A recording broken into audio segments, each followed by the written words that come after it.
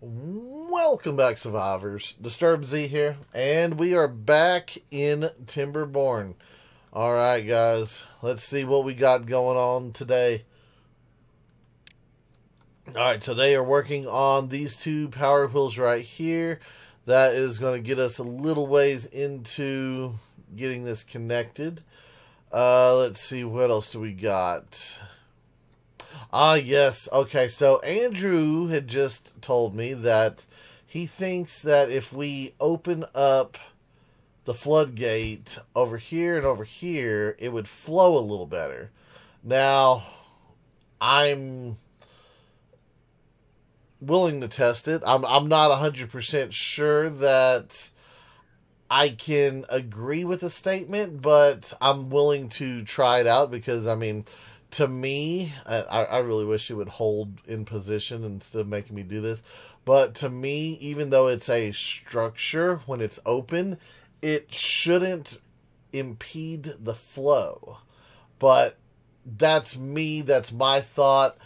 I don't know what the devs have done. So maybe, maybe it does. And I think, I can't remember, there was someone else who had made mention of this before. So I do want to say that um, by no means did I ignore that original comment or anything, but it does seem like I'm still having issues with it um, backflowing a little bit. And there's two things that I'm going to address here. So one of them is this. Another one of them was that, and I think it might have been Andrew on this other one too. Um, another one was I think we have somewhere I think we put a set of da- ah that yes we have these crisscross dams in here.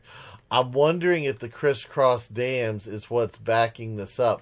Now I can't be hundred percent for sure because I mean it worked for how long and then it stopped working. So that could be a problem, or it could be over here. Or it could be a combination of the fact that it is both of them.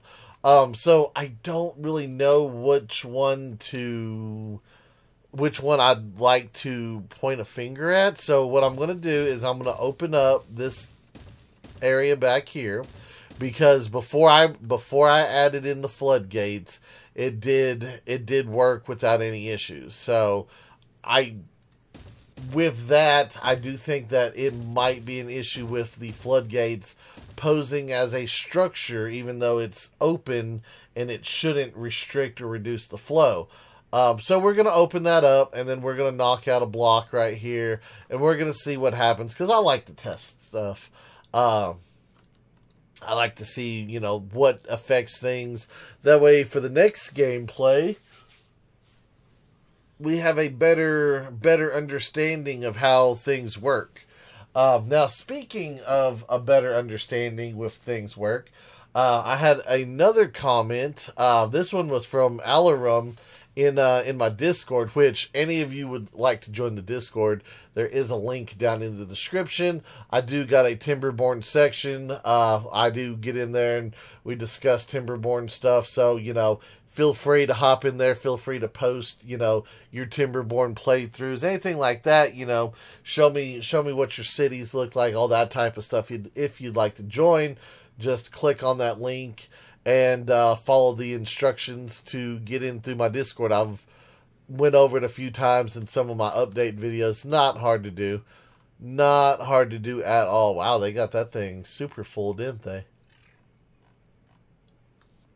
But anyway, we were discussing stuff about how with the with the update being so close, it might be a good idea to switch over to experimental and apply some of the stuff into uh, into our game into the end of of the of this series because I mean we are at the end of the series.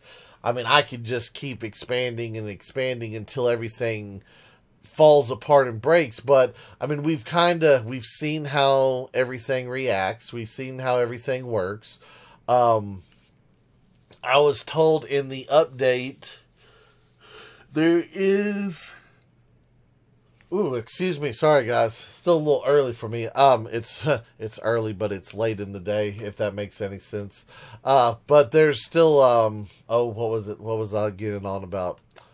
Um, there's some things that have been fixed, like some of the lag issues and stuff that we've been having. Some of that stuff got fixed. Uh, the new items, all that kind of stuff. Um, I can't remember exactly every single thing, but apparently the experimental is fixing a whole lot of stuff, which is great. That means like so so much for the game. Um, so yeah, I think that's what we're gonna do. Is probably tomorrow's video. I'll probably have the experimental running, and we're gonna test it out on the on the back end of this build because I think, like I said, I think we are to that point of where we've conquered the map. We've built a huge city. I mean, we're running we're running at any any time right around 500 to 500 and like 30 beavers, I think it is somewhere in there depending on what you know what season it is. Um, so I mean, we've got a huge city, all that. We've beat the water back. We've overcome the power issues. We've done all that. I would like to see how the batteries would work in our system. So I really want to test those batteries out with our with our giant power grid. Um, and depending on how big they are, this spot right here might be the best spot to to put those batteries. Sorry, I had it slowed down for some reason. But yeah, so we've got a lot of things coming.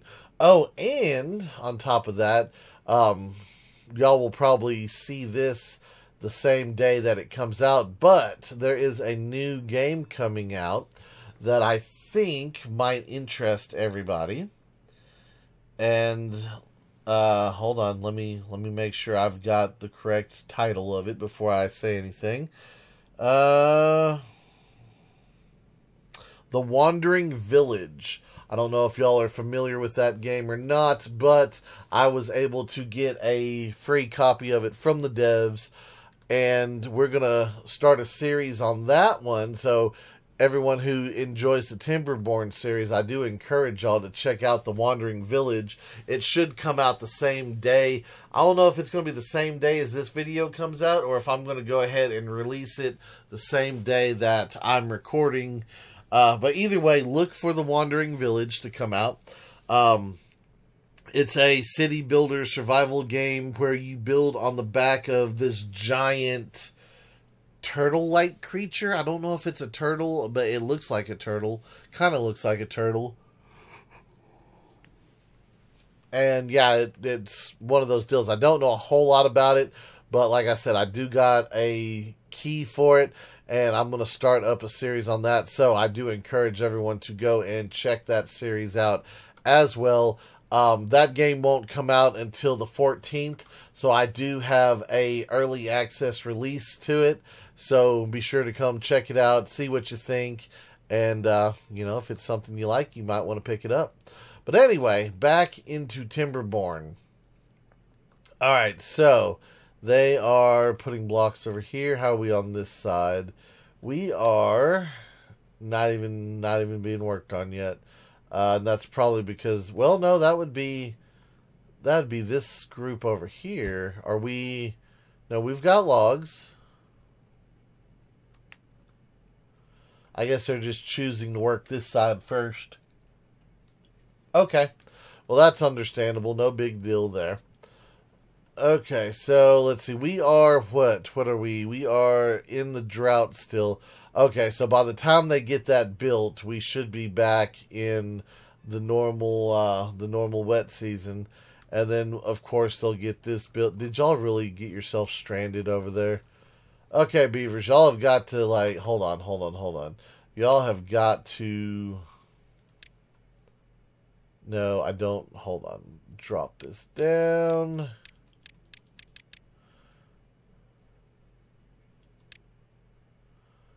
Y'all have got to prioritize those so that those beavers can get out of there. I hate when they back themselves into a corner like that. Yeah, because you know, oh yeah, they can't walk backwards because of the legs. I'm like, y'all can just crawl over that stuff. Come on, beavers, come save them. There you go. Work on that thing.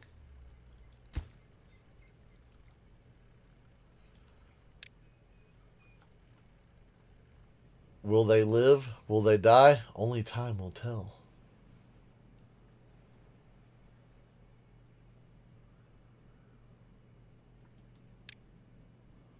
Whoa, whoa, whoa, whoa, whoa, whoa, whoa, whoa, whoa. I did not say nothing about making that dude being built. Yeah, no, get that. Okay, y'all should be able to run out now.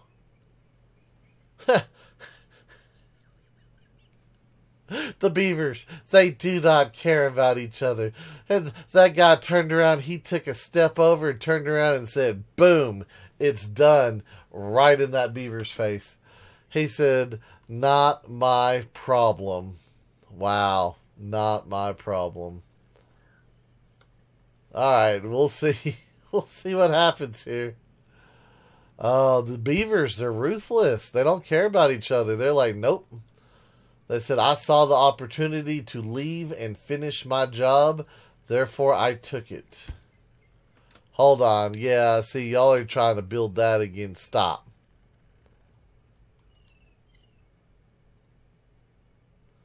Let the beaver out. He doesn't want to be stranded. He gonna die. He is gonna die. I can't click on him. Stranded beaver. Yeah, you're starving, all right. Starving and thirsty. Well, we'll see if he makes it to morning. He might. He might not. That other beaver, all I can say is shame on him. Shame on him. I tried to get it to where they could they could uh, both escape, but no.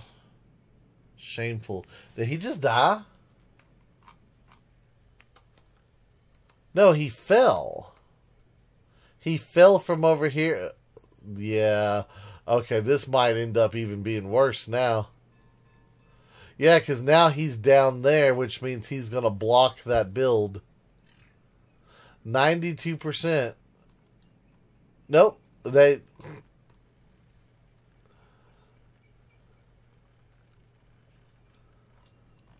Sorry, Beaver.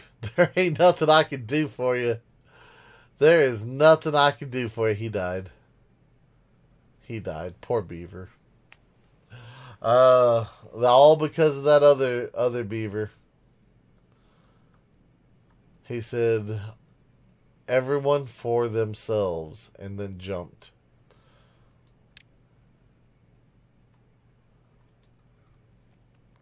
All right. Well, how high up are we? We're right here. Y'all beavers get this built like in a hurry. Like, why do we only have two builders? Give me four. How many beavers do we have over here? Yeah, we've got a couple extra, don't we? One vacancy, four unemployed. Oh, yeah, because we've got that one turned off. Okay. Not a problem, not a problem. All right, building lacks materials. What building lacks materials? These guys, grilled chestnuts. Okay.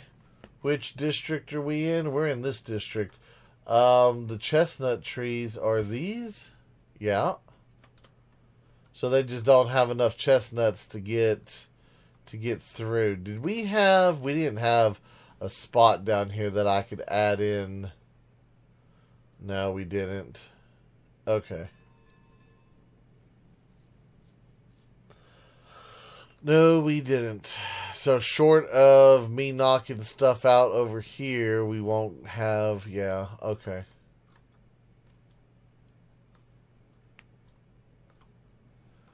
I could add chestnuts over here. Whose district is this over here? Hold on, let me see. That is these guys' district. Okay, how are y'all doing on chestnuts? Um, y'all have three chestnuts, so y'all aren't doing any better on chestnuts either. Um, what trees do we have here? We have maple trees. I mean, technically, I could do a gatherer, and I could do a chestnut right here. I mean, how many, how many chestnut trees would that give us? And it's three chestnut per tree. So that's one, two, three, four, five, six, seven, eight, nine, ten, eleven, and if I do one here, that's twelve. because we'd have to have a road and a thing. So 12 times 3, that's 36. Uh, that's not a whole lot of chestnuts. I guess we could do it with chestnuts right there. I mean, it's not going to be the the greatest thing, but I mean, we could do we could do a little bit over here. It's not like I said, it's not going to be like overwhelming where we can send them, but yeah, we'll we'll reinforce them with chestnuts, and then I don't know, maybe we'll figure something out over here. Just maybe.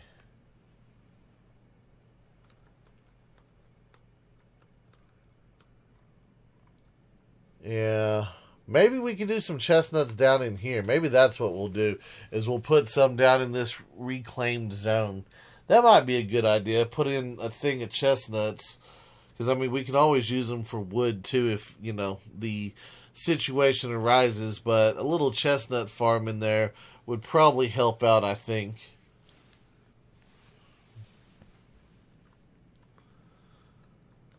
All right, so we'll do that. And how we doing over here? We still still draining. I think this is almost drained out. Almost. We've got yeah, about half a block of water left in there. Okay. So we've got that. Uh, these guys are okay. So we are starting to pump it back up. So that's good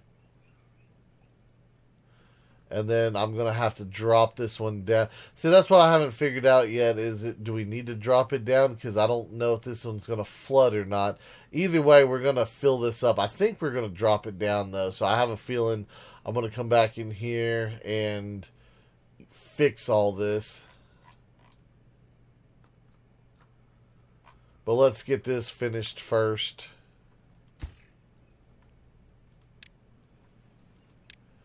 Now that our poor beaver died over here. That poor beaver.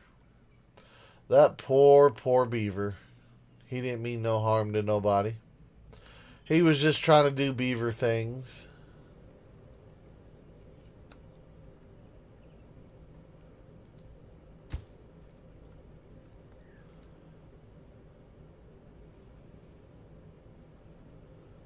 All right, do we have a worker? We do have a worker. Alright, so how are we doing on this guy over here? So we've got 350 out of 120. And we haven't got these connected just yet. Yeah, I think I think having those gravity batteries right here, I think that's what's going to be um, a thing. You know what? If we're going to do that, I just remembered that we're going to need uh, some observatories to power everything. Uh, let's see, what is that? 80 planks, 30 gears, and wait, what? Is that pine resin? I think that is pine resin. Who, which, which area has pine resin in it? Um, you do not have pine resin. I bet you it's these guys over here. And pine resin, pine resin, 3,000 of it, yes. So it's these guys over here. Okay, so how big is an observatory? It is a three by three. Excellent. Um, where can we put a three by three building? I might want to do two of them depending on how everything works. That does, yeah, it ran red all the way down there. Uh, I could put them out here if we needed to. Okay, I think what we'll do is we will put them right here.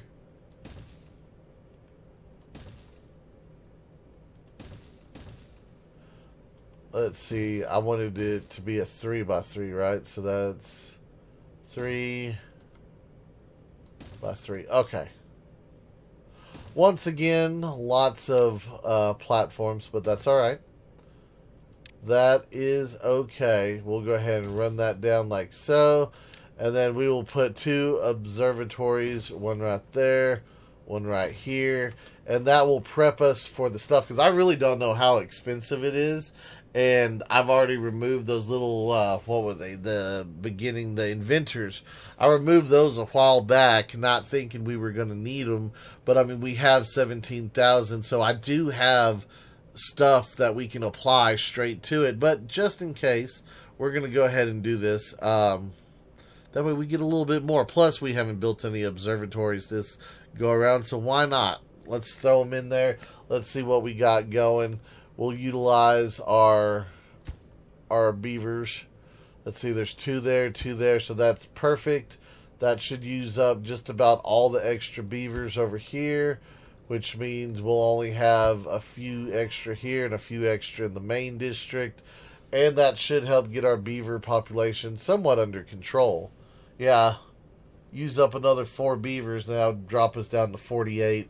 So that's not too bad right there plus the new buildings that are going to come in from this district that ought to help as well. All right. Very, very excited to see what we got going on here. How are we? Ah, they just got this one up here. Okay, excellent. So what I'm gonna do is I'm gonna wait till we're in the uh, the wet season, and once we get this fully fully done, I'll delete that row of blocks on each side, and we'll see if the floodgates themselves have posed a uh, a hindrance to the water in some way. Because I mean, when we had it just open with the one block open before we dynamited it, it didn't have any issues with flow. So that is something that we do need to take into consideration. Is does an open floodgate present a restriction of some sort? And with as many water sources as we've got that's exiting out of the map right here, that's, you know, that's a, a good chunk of stuff to back up right there. But anyway, it should be alright. It should work out.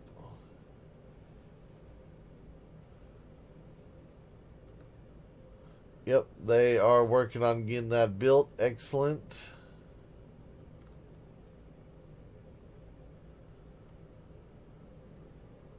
And over here, let's see, did we...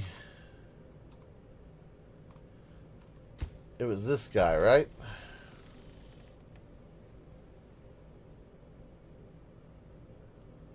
Already with the thousand. Wait, what did y'all fill up with? Spatterdock? And potatoes? Ooh. Um, hang on one second here. Did we...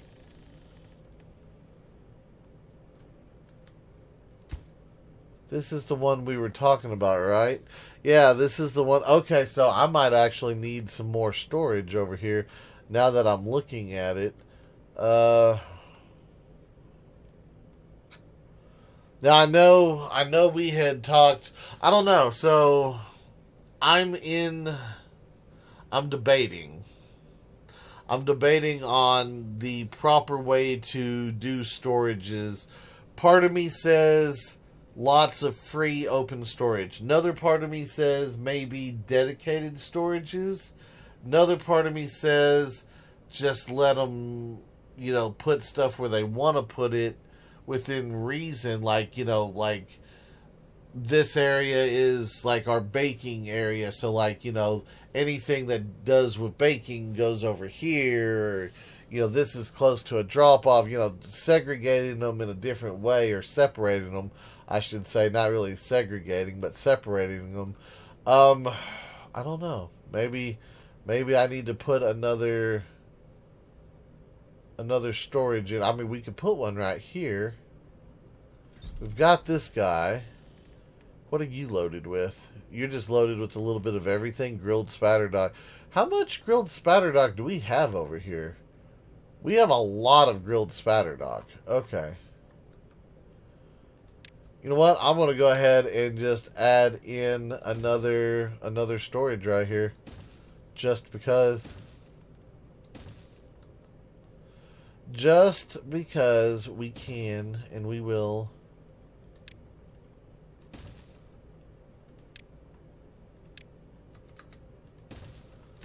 We'll do that. I'm going to go ahead and make it a non-desired. And the only thing we're going to put in here will be...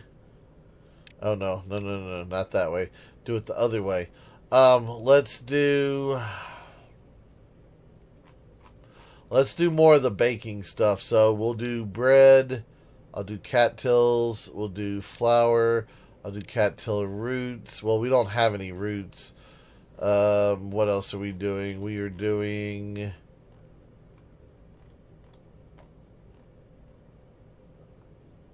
Do we want to do spatter dock? I don't know if we want to do spatter dock or not.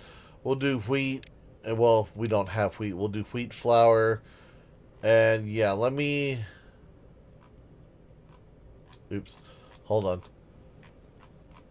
Do I want to add in more spatter dock? I don't know. I feel like if I add in the spatterdock, we're to get overloaded with spatter spatterdock because we are sending it over from the other yeah, from the other area. So let's not do that. Let's just do the cattail flour for this one. And we'll just kind of wait and see what happens. We'll let that go and do its thing. But anyway, so we've got a little bit of stuff done. We got the end of these power wheels done. So we do have extra power coming from that. We'll have this tied in. Like I said, we're getting ready to go into experimental mode so that we can grab those gravitational batteries. I think this will be an excellent spot to try to hook up a couple of those. And we're going to test them out and we're going to see what's going on. So tomorrow, be prepared for experimental mode. Hopefully everything goes right and nothing goes wonky with the game. So, but we shall see. But anyway, that's going to be it for today's video. I do hope everyone has enjoyed it. If you have, be sure to hit that like button. And if you haven't already, do me a favor, hit that subscribe button. It is an awesome way for you to show your support to me, to the channel, to the video, and to the game itself. And as always, feel free to share the video on any social media you're using. And guys, just like to stop, take a moment, and thank each and every one of y'all for all of your wonderful, awesome support, all the comments, all the likes, all the subscribers, and all the videos shared. It is awesome. I do appreciate it. And with that being said, until next time, survivors, keep on surviving.